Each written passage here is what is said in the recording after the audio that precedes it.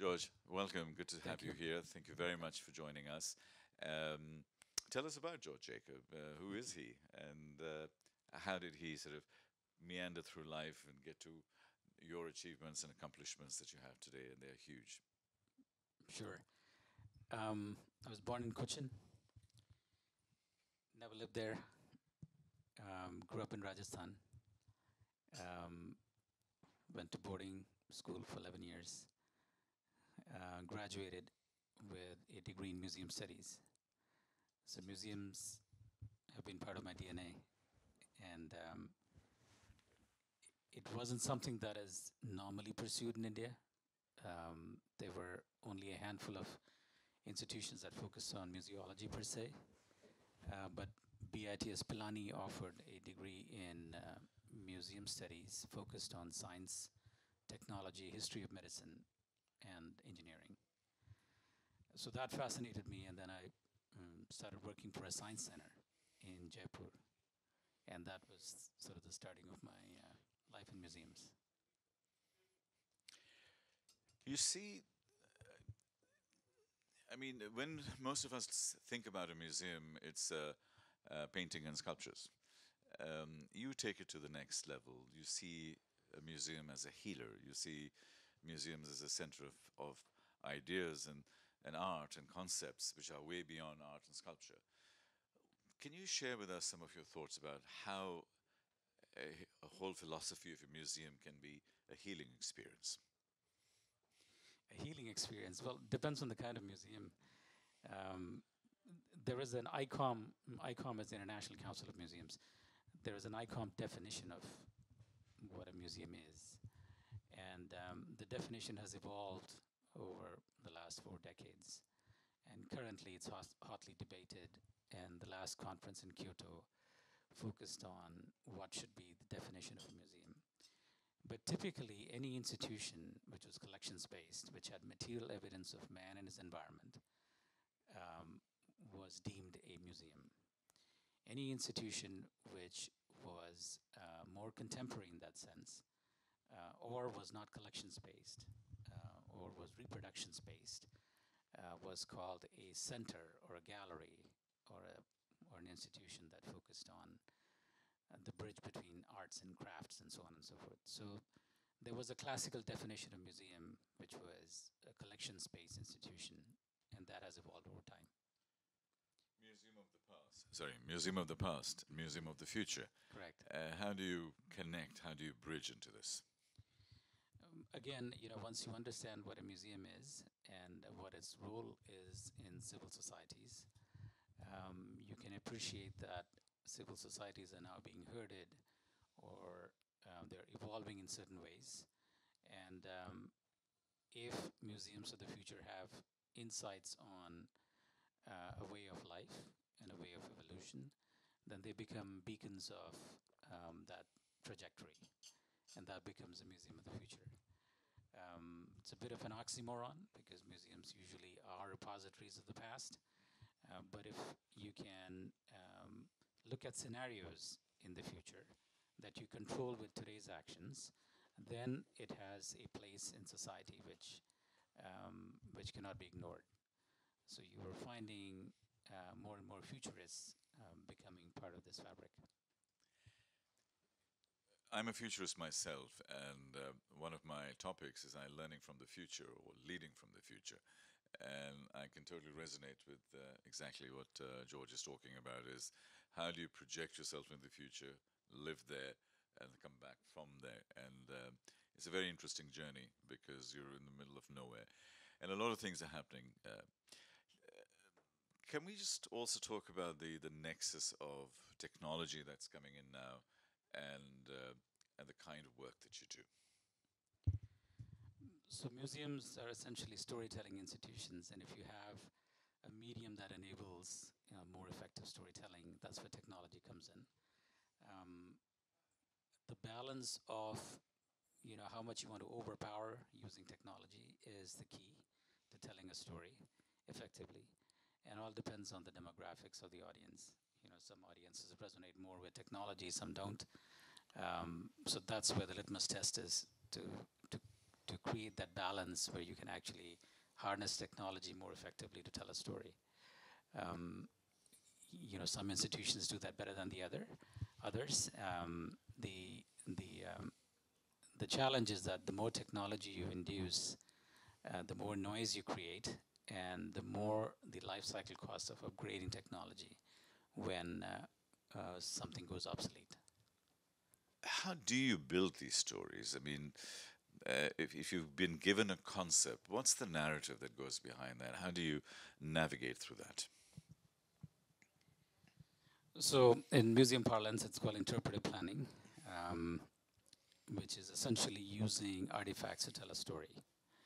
Every now and then, you'll find a kernel or a nugget that completes the story without any interpretive text. I'll give you an example. there is a museum which is laced with technology, and it's about World War II.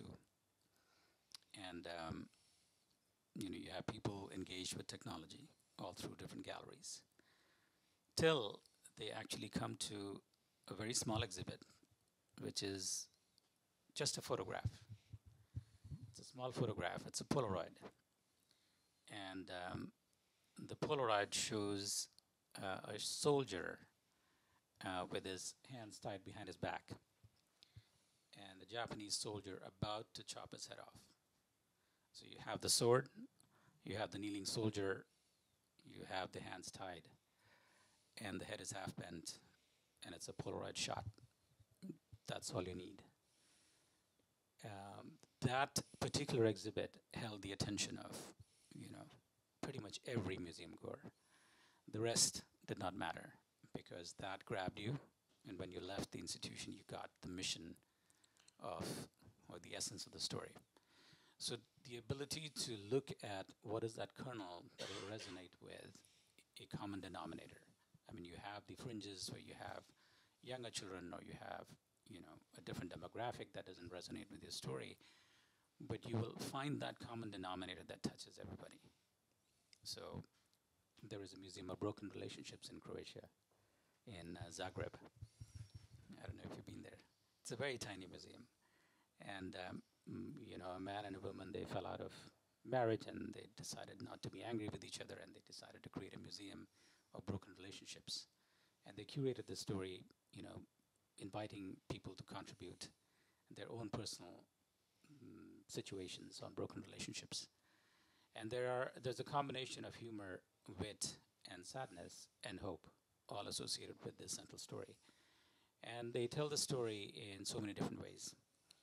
And then it graduated from a story between two people falling out of love or relationship to a story that focuses on the conflict in the Balkans and uh, you know that turned neighbors against neighbors and the relationship the parenthesis of relationship became wider and wider so depends on the topic and depends on how you want to tell the story that resonates with the common denominator uh, let's build the blocks of your life in terms of and your achievements and your credentials. Um, can you tell us about the fact that you've done over 100 museums and how does that work? Because you know, each museum in my head would take years and years and years to do. Uh, how did you do 100 museums and what other notable stories that you have around building that? So I thought I'll put some slides together so that you have a visual uh, more than me talking about it. So I'm going to run through um, very rapidly a bunch of slides that gives you a spectrum of different projects that I've been involved with in the past. Um, starting with this first one here, this is in Jaipur. It's a science and tech center. It has a planetarium, um, science museum, and an observatory attached to it. And I became a director at 25 many years ago. Um, bottom right is the Prime Minister of India. And then um, you see some of the visuals on the inside of the facility. It's privately funded. And uh, my next project was in Saudi Arabia. This is the King Abdulaziz Al Darat Murabba Palace, the National Museum of Saudi Arabia. It was designed by a Japanese Canadian architect. Um, the museum consultants were in Toronto. The museum designers were in Toronto. The procurement happened in Toronto. So it was some sort of an implant that had some homegrown instincts attached to it, and that's the National Museum. And then UAE, I was involved with the National Archives here some years ago.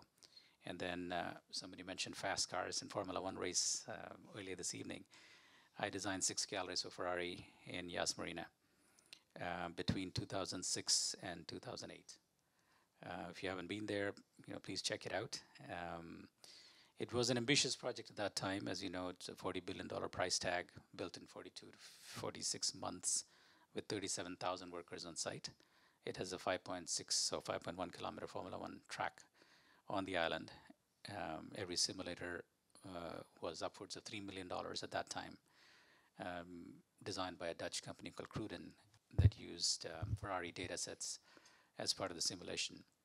And then I um, uh, worked on a number of assignments in Asia, including Singapore. There's a Singapore Discovery Center, um, Oregon Museum of Science and Industry in Portland, Grand Teton National Park in uh, in um, in the United States. So that's Dick Cheney at the opening, and uh, Ty Warner Sea Center in Santa Barbara, Wine Museum in Napa Valley,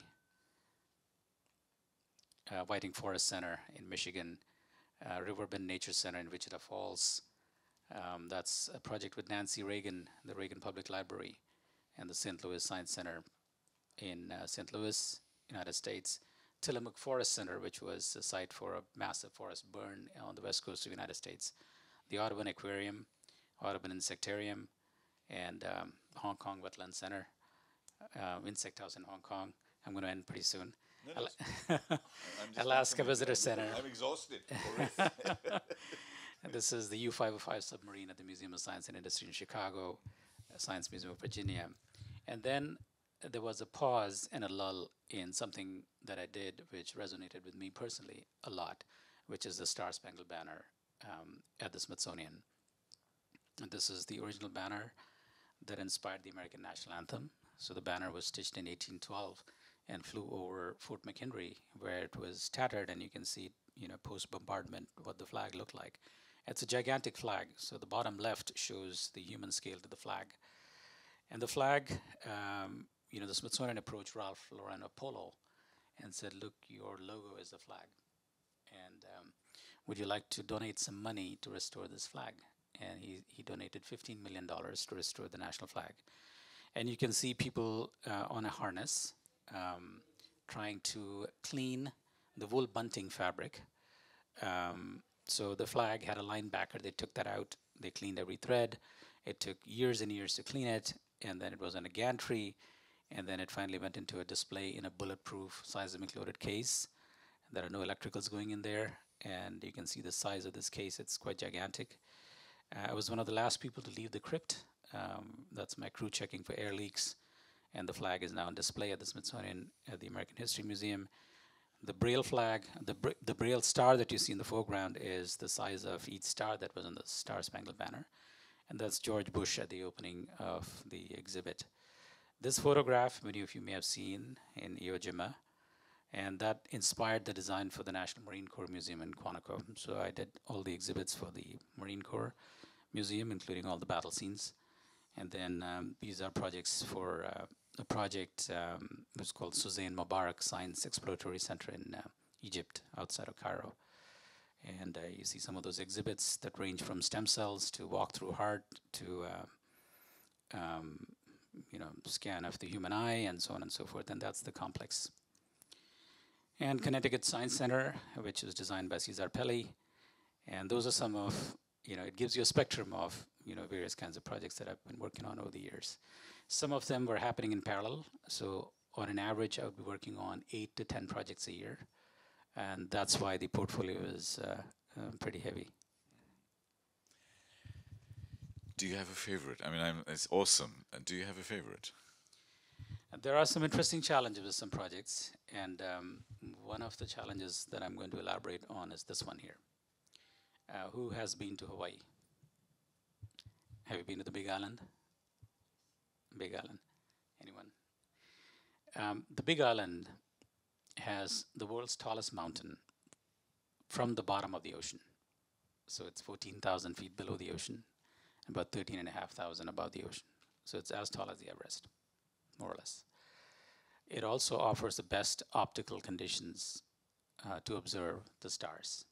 So the world's biggest optical telescopes are on Mauna Kea.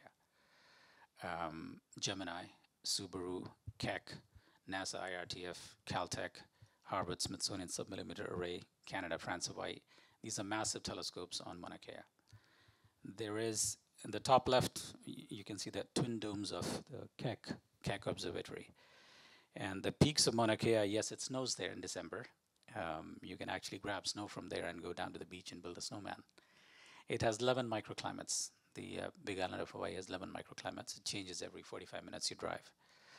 And um, the story there was that these telescopes, you know, just like we have a church and an altar, you know, Hawaiians believe that the uh, church is the sky and the altar is the mountain. And on every altar, there is a telescope. There are 16 telescopes on Mauna Kea, and uh, most of them without permission. So Native Hawaiians have sacred sites there, and on top of it, the um, the top of the mountain is declared a science reserve by the uh, University of Hawaii, which means that it's restricted access. You have to take permission to go up there, and that became a bone of contention. And uh, the divide between the Hawaiian groups and the astronomers it grew, and became very contentious. Uh, so much so that they were willing to be incarcerated, and some of them wanted to dynamite the telescopes. And uh, I was sent there to figure out a method of mitigation that became a museum eventually. So that challenge of mitigation became um, something that um, that was something that I wasn't prepared for, but I had to prepare myself for it uh, once I was there. I realized I was the eighth director to come on board. Seven others had come before me. The longest stay was two months. The shortest stay was two days. And um, so I prevailed there for for some years and um, ended up building a museum. These were uh, some of the early designs of uh, this museum that we were conceiving. So the initial idea was that I would take some federal dollars and then make sure that there are programs that dissipate the tension between the Hawaiian groups and the astronomy community. And that didn't seem to be a vi viable solution. And the solution was to create an institution, a living institution, that respects the values of both communities and celebrates the notion of human ingenuity in exploring skies, um, our universe. Who are we? Are we alone? You know, all those questions that SETI and others explore constantly. And that, uh, you know, precipitated this meeting that you see here. It's a historic meeting. The directors of all 16 telescopes are in that room. And the, the, the Hawaiian stakeholders are in that room for the first time. So uh, Kahu Ku Mauna, Ahaho'i Kamona, um, Royal Order of Kamehameha. These are some of the groups um, that had serious differences with the astronomy community and the approach that um, was taken for the use of Mauna Kea as a mountain. There are three mountains on the Big Island, Mauna Kea, Mauna Loa, and Hualalai. And there is a um, crater uh, called the Kilauea crater, which is an active volcano. Um, the design that was conceived um, was a combination of the three mountains and the sunken crater. And this is what it looked like. Going back to the Hawaiian experience, there is a crater lake on Mauna Kea. So the umbilical cord of the firstborn Hawaiian son is cut and wrapped in ti leaves and deposited on that lake. The lake is called Lake Waiau. And that you will not read in any book. And the realization that that is their connection with the mountain um, it, it is a revelation of uh, some sorts that will change you eternally. Um, coming in from the cold from the west coast, my first reaction was that, you know, there is something not adding up here. You know, what is so important about, um, you know, these peaks on a barren island um, or a mountain where, you know, you want to dynamite something that has been installed on on these peaks. And then you realize that it's because of the resonance that the community has or has had for centuries that is at the core of you know some of these values that are unspoken, unwritten. Poetry um, also has been effectively used in a number of museum settings, um, and it's a powerful tool. Um, slogans, poetry, um, posterization of an entire revolution. you know, when a society is in some sort of upheaval, a poster captures, you know, that upheaval in so many different ways. Um, you know, most recently, as you know, um, just last week, Barbados got its freedom. So it's no longer a dominion um, or a British uh, colony in that sense. It is now a republic. And uh, in the Caribbean, uh, there is that sense of identity which is um, sometimes you know people grapple with identity. And um, the um, you know the post-colonial societies um, grapple with identity question in so many different ways. Um, from Philippines to Falklands the sun never set on the British Empire. So from the east uh, side of the planet to the west side you had 50 colonies um, there is a poet laureate by the name of Derek Walcott, and some of you may have you know read some of his poems. And he talks about uh, the post-colonial angst, uh, which is uh, in in some ways one of the most poignant ways in which he expresses that. And um, in one of his poems called "The Schooner," he says, um, "I come from a land where the sun, tired of the empire, sets in the west." in setting so, it gives birth to a thousand stars. Um, I had I had sound I had a sound English education in me. I had a little bit of Dutch, nigger, and English in me. I can roll up the sleeves of my shirt and bear the white scars on my brown skin. Either I'm a nation or I'm a nobody. There's nothing else that needs to be said after that. You know, so there are there are ways of you know bringing that to fore that would uh, move you uh, from the core. Thank you for that. Uh, it's a wonderful segue to talk about poetry and the Museum of the Future, which we can sort of see little bits, slivers of from here. What are your views? Because some of the calligraphy out there is poetry itself. And um, what is your emotion that you feel when you see that during the day and at night. And I'm sure there are different emotions because I have them. What are yours? No, I think there is no other building like this in the world. So there is that, you know, that immediate association with um, something so spectacular. Um, it's, you know, symbolic. It's a work of art. It is representational. It has, um, you know, a grounding in local vernacular. It has a local vocabulary that is um, pretty spectacular. And, um, you know, with lighting at nighttime and its, you know, visual impact during the daytime, it is this uh, beautiful orb that you cannot take your eyes away from. So that's the first reaction. The second reaction is curiosity what is inside the Museum of the Future? Am I looking at technology? Am I looking at some um, gizmos? Am I um, being challenged in some ways to think outside the box? Um, am I speculating about the future? Um, am I looking at future with with um, open eyes, positivity, or shock, like Alvin Toffler would have you believe? Uh, those are some of the questions that would eventually draw people into um, the Museum of the Future.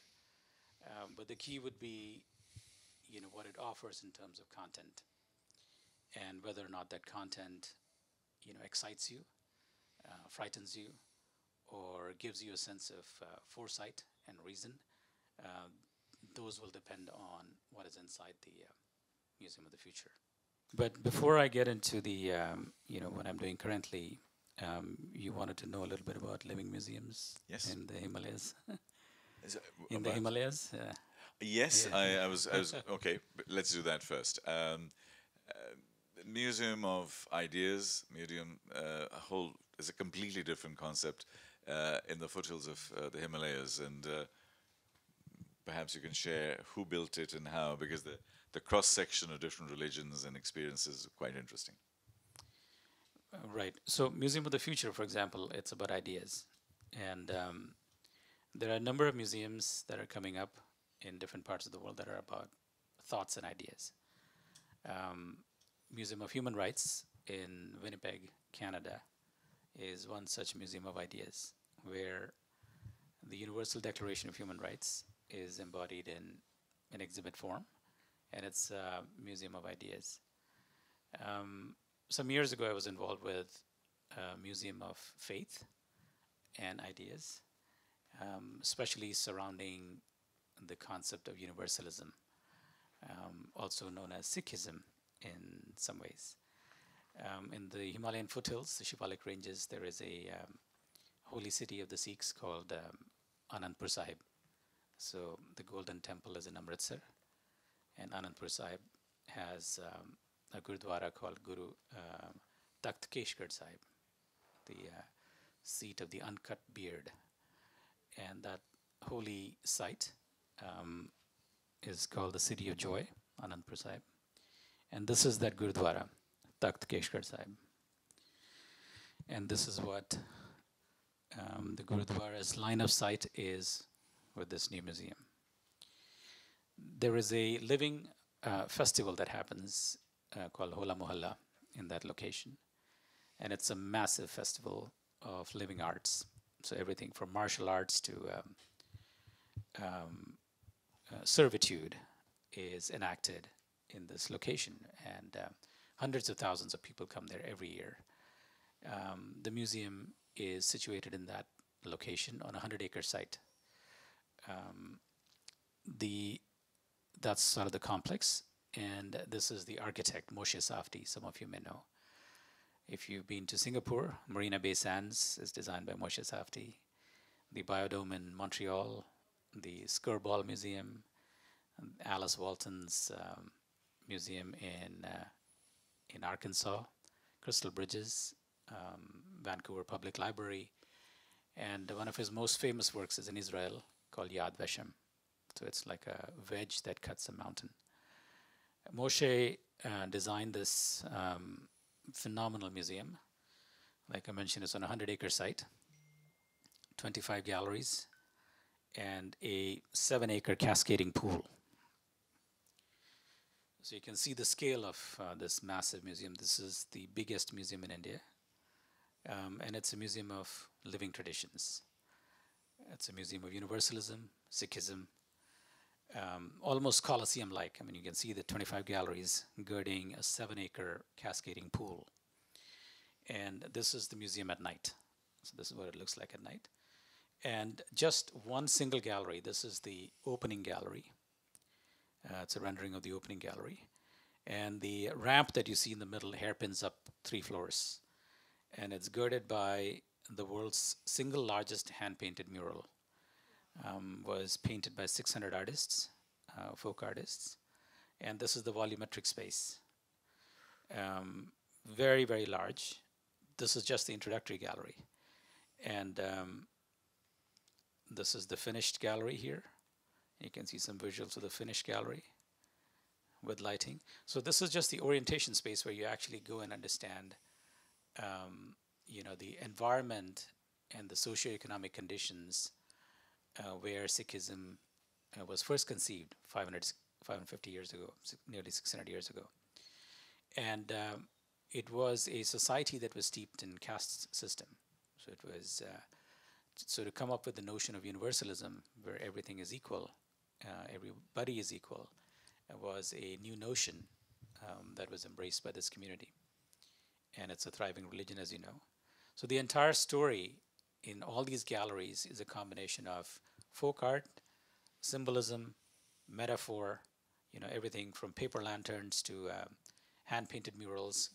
There's no FedEx Kinkos there to go and repeal the graphics in the middle of nowhere. So most of the content was painted directly on the wall.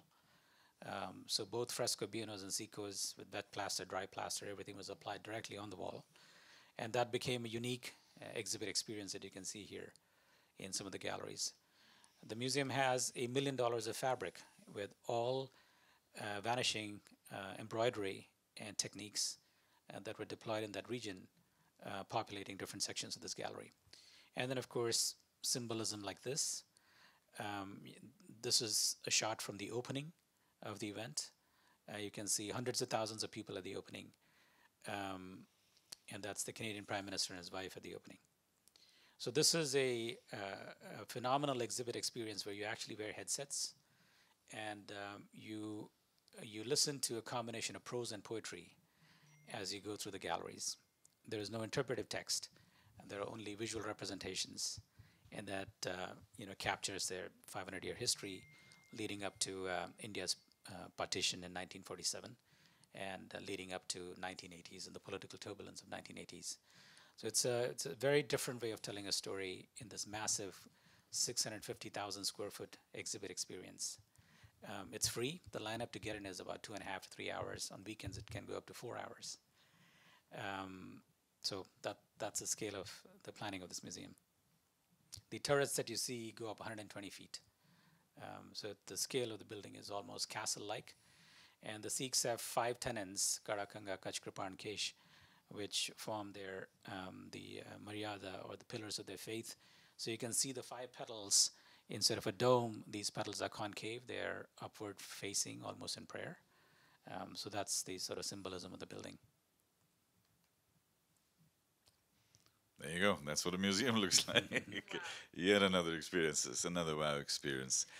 Uh, we talk a lot about sustainability, environment, oceans, and uh, and uh, when I first met George, it was all about oceans and how oceans are literally, um, you know, healthy oceans and healthy humans.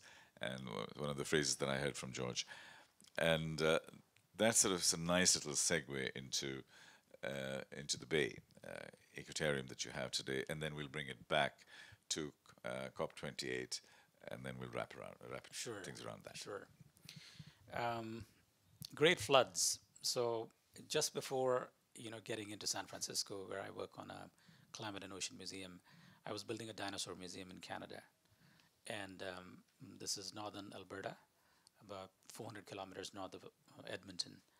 Um, this was a site where a uh, Triceratops was discovered. It was a unique species called Pachyrhinosaurus lakustai.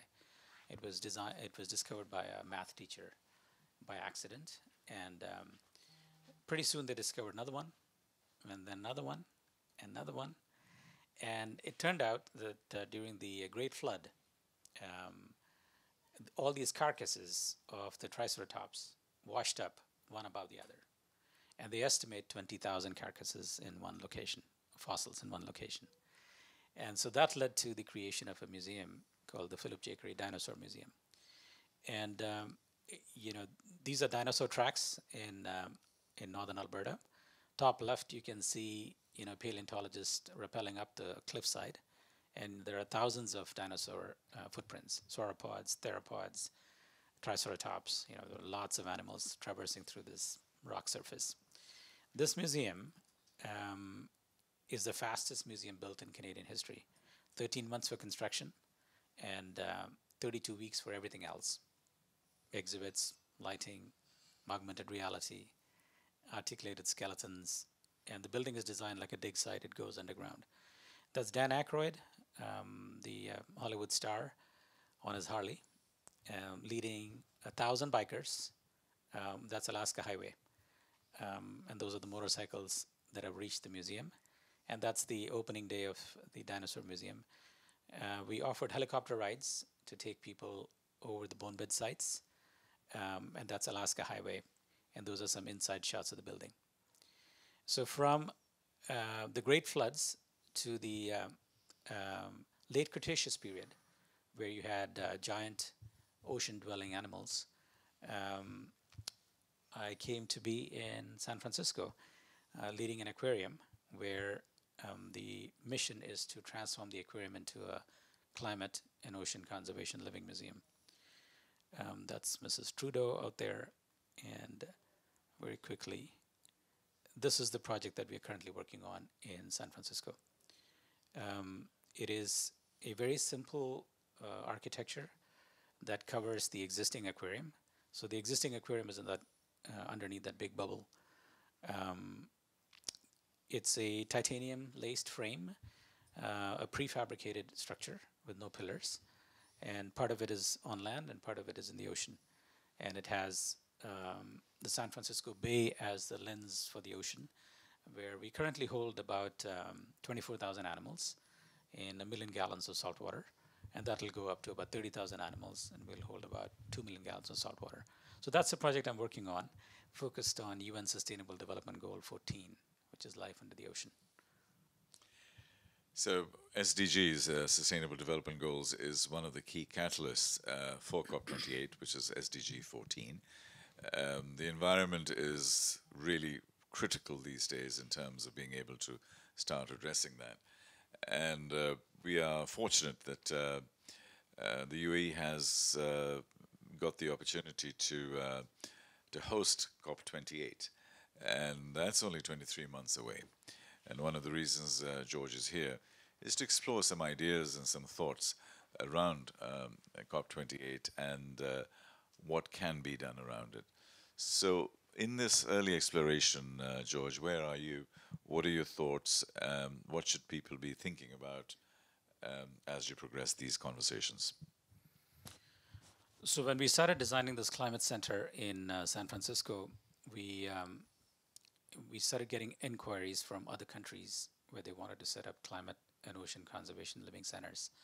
So this is um, this is sort of the key feature list of what the center would hold, and uh, these are some of the impacts that the center would have. And we had Mrs. Biden there at the unveiling of the vision for the center. The next country that picked up the tab for working on this project in their own way was Jamaica. So um, we designed uh, something different for Jamaica. And these are early concepts that were approved by the Jamaican government uh, for $132 million. The building is pretty much a reverse upside down of our project in San Francisco. So there are three volumetric spaces um, that minimize the contact on the beach. So it's a beautiful site in Montego Bay. And you can see that uh, um, there is a waterfall that is cascading down 20 meters from the edge of one of the coral reef um, building renditions. And you can see a mangrove, a living mangrove on top of the other dome. Uh, and these are the three volumes. The biggest volume holds the aquarium as a lens with climate exhibits all around it. The second volume holds all the education components, uh, reverse, dome theater, and so on. And then the third volume holds a life support system that'll hold um, life support uh, uh and HVAC systems for uh, 30,000 animals and 2.2 million gallons. Those are night shots of uh, when we cut all the lights. Uh, it's a combination of um, sea urchin cross sections and uh, elkhorn coral. Um, it's another shot at night, and bioluminescence, key impact, and so on and so forth. The third project that came up was in Norway. So during the pandemic, uh, Norwegians wanted to set up a climate and ocean conservation living museum in Bergen, which is also known as the Ocean City. Um, what I'm sharing with you has not been shared with too many people. Um, this is how sperm whales sleep. Um, I don't know if you if you've encountered a sleeping colony of sperm whales. The sperm whale is the loudest animal on this planet. So it clicks at 230 decibels. So an F-35 or fighter jet takes off at 160 decibels. So the click of a sperm whale is 100 decibels more than that. It can paralyze you if you're near, near that animal, and it can tear your internal organs. The click is so loud, can be heard 4,000 miles away. And so we wanted to capture the magic of the 16 foot animal and its ability to communicate in very complex clicks across thousands of miles that is being disrupted by cargo ships and submarines and everything that goes in the ocean. Um, and the gallery that I designed for them is um, this is the volumetric space. And once you're in it, you're in the ocean, you're in the deep ocean. You are amid a colony of sperm whales that are sleeping. And um, you, you know, once you enter this lobby, ocean becomes your home. You look at ocean through a completely different lens. You also look at extinction, and you look you look at you know the extrapolations of climate change that lead to extinction at some point of time or the other. The plesiosaur was discovered in Norway some years ago, and so we kind of begin the story of melting polar ice caps. And there is that massive iceberg, uh, which is a projection device um, that has 360 mapping as well as top and bottom immersive content. So those are some of the you know ways in which we are um, addressing climate change in very immersive ways. And uh, with UAE wanting to host uh, COP28 in 22 months from today, uh, they have an intrinsic responsibility for looking at divesting from fossil-based uh, uh, fuels uh, to look at reducing the carbon footprint. So the challenge of community, the challenge of communicating that story is real, and if they want to tell that story on the heels of COP27 that is going to happen in Egypt, um, there isn't much time left. Uh, so we have some ideas that we would be sharing with, uh, uh, you know, some of the powers that be, and see if we could collaborate and do something jointly with United States and UAE. It's interesting uh, that uh, we're talking about COP28 only 22 months away, and uh, um, in your world, 22 months is not a long time, is it, uh, to be able to produce something like this? It's it's very tight. I mean, you're looking at, you know, if you want to create a, um, let's say, hypothetically, an 80 to 90,000 square foot exhibit, um, you're looking at, you know, a crew of 300 to 500 people, um, you know, 100 specialists, uh, moving pretty much you know double shifts from now until the opening. Um, it's very Dubai style, by the way. it is, and it's, it's it's it's certainly doable, and it's certainly doable with minimum margin of error. Um, I mean, if anyone can do it, Dubai can do it. UAE can do it. Um, they have the innate ability to mobilize resources, both fiscal resources and other resources, to make miracles happen. And I think with 166 world leaders expected here, 100,000 protesters, 30,000 delegates, and the world watching on announcements divesting from fossil fuels. The uh, challenges are unique, but the opportunity is fantastic.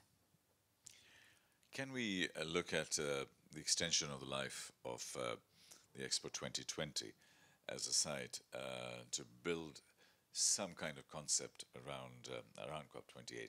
In, o- in other words, rather than just start on a clean sheet of paper, we already have some key elements in there.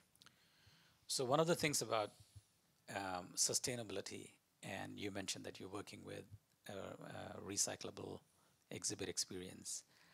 Um, you know, the premise of repurposing existing uh, pavilions at Expo is in itself an exercise of recycling.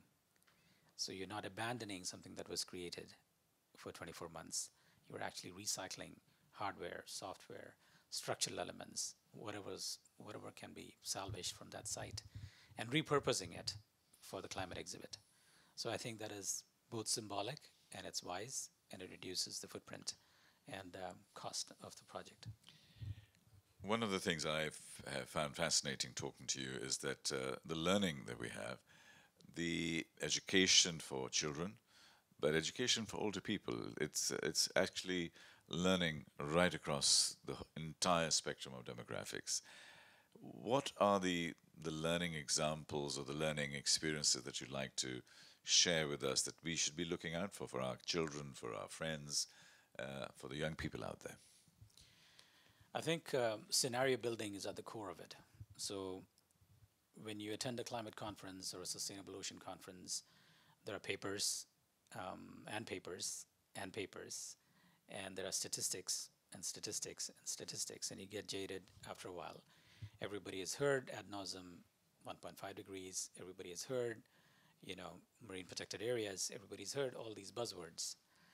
But the scenario doesn't ring home or get, you know, ring true till you actually immerse yourself in what that really means. Um, about a year and a half ago, two years ago, I hosted the uh, uh, former Prime Minister of, uh, President of Kiribati, so Kiribati is that small island in the Pacific where um, a slight you know, variance in ocean temperature will uh, drown that island completely. And um, it would create uh, the world's first climate refugees. Um, so that exodus is very real because the ocean is encroaching on their land, their lifestyle, their livelihood. And um, you know, they're really uh, worried about what's going to happen to their community. So they have started purchasing land in other parts of the world, and they've slowly started migrating 20,000 people uh, at a time to uh, repopulate in different locations. So that can become a reality.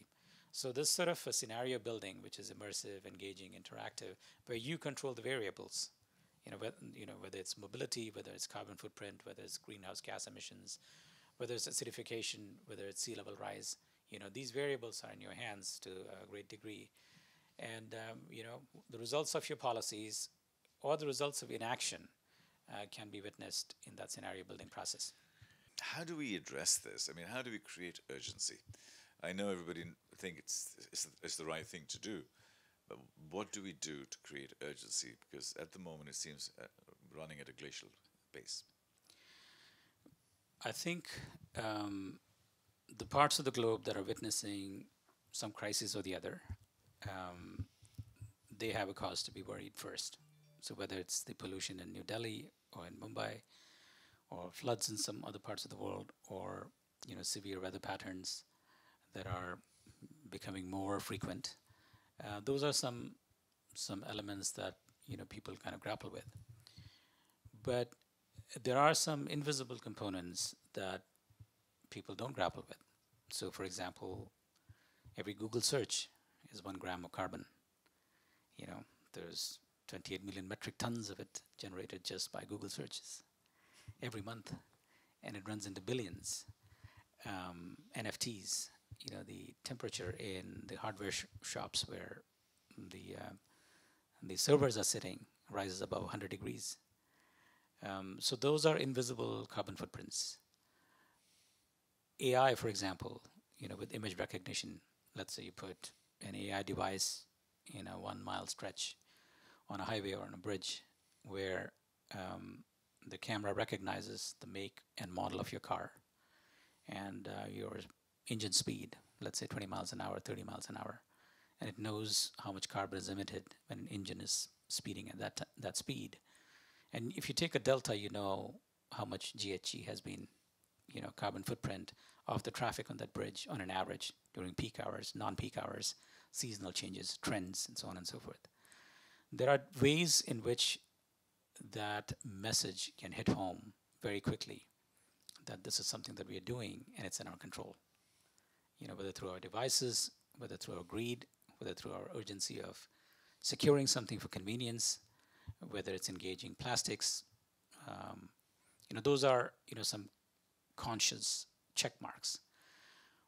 But on the positive side, you also have innovations and inventions where we are actually grappling with many things. Um, plastic e eating bacteria or you know uh, things that we uh, find as amazing solutions or agitating nanocubes that can sequester carbon. So there are some very interesting research areas where human beings have made amazing progress. Even if it has not hit the public domain or commercial domain, sooner or later it will. But the fact that we are striving to restore our coral reefs, creating hope spots around the world, focusing on marine protected areas, focusing on, you know, how to revive dead coral, um, passing all kinds of regulations which uh, prohibit certain activities, commercial activities, and so on and so forth. You're seeing some differences in a lot of, you know, parts of the world, which is hopeful. And um, on that message of hope, um, last month, eight Grammy winners wrote me a song. And um, it's called the Ecotarium song. And um, they, they said that we, we want to give you this song. And they put a video together, which I'm going to play for you. Please do. And then we'll end with that on a high. and um, the person who actually took the lead on it is the drummer for Police, the band Police um, Steve Copeland, and uh, he took it upon himself to bring other Grammy winners to the fold to write us a song, and um, we really are grateful. And it's inspirational, and it's um, you know it, it fills us with hope that you know there are many voices that that want to see some good good happen in the world.